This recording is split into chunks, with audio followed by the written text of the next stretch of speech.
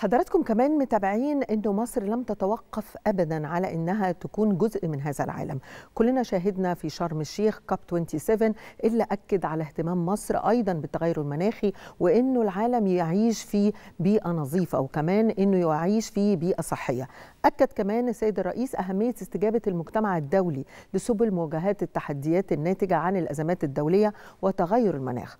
وأشار السيد الرئيس إلى أن مصر استضافت قمة كاب 27 واستهدفت إبراز حجم المشكلة وضرورة تدبير التمويل اللازم لمواجهتها. كلنا عارفين إنه في كاب 27 من أهم ونجاح كاب 27 هو أيضا تقديم التمويل الخاص بالتغير المناخي خاصة بالنسبة للدول النامية وتحديدا أيضا بالنسبة لقارة إفريقيا اللي هي أكثر تضررا في العالم. نستمع إلى جزء آخر من كلمة السيد الرئيس الحقيقة هذا الواقع الجديد يفرض على الجميع التكاتف لتعزيز النظام متعدد الأطراف ليصبح أكثر استجابة لاحتياجات الدول النامية وأكثر قدرة أيضا على الصمود أمام الأزمات بما يمكننا من مواجهة تحديات تغير المناخ التي لم تكن طبعا لم نكن المتسبب الرئيسي فيها ولكن نحن الأكثر تضررا منها.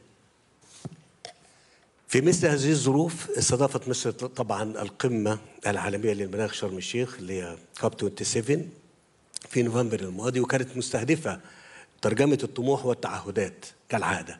واسمحوا لي أنا مش هخرج كتير عن النص ولكن عايز أقول دائما نقول حجم المشكلة والتمويل وكيف يتم تدبير هذا التمويل غير كده لن يتم ابدا التحرك في تقديرنا لحل أي مشكلة إحنا بنطرحها سواء كان على المستوى الوطني أو على المستوى الدولي.